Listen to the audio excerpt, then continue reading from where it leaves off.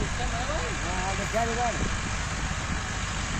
रहेगा ये हम लोग बताओ अगर गल यही बह रहा है हाँ वही बात है ना बात काले जा रही है मिट्टी हाँ?